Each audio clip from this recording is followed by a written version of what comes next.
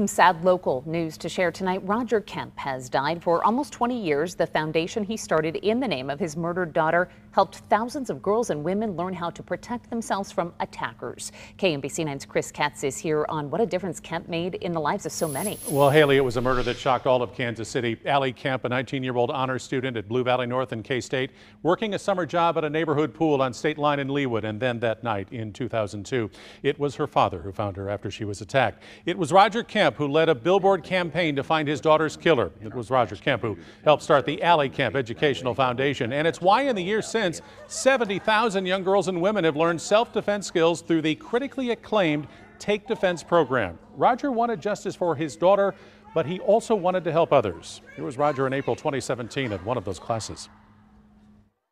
If the unthinkable happens, what anyone in our class can do to defend themselves, get on their feet, run away, and go home at night, and that's what we're all about. We have to put a stop to the senseless violence that's going on in our society. I definitely think that that's definitely part of the legacy that he's left behind is the is the ability, um, the empowerment that he brought to people Roger Kemp passed away unexpectedly at the age of 77. His family asking in lieu of flowers that a donation be made to the Ali Kemp Educational Foundation.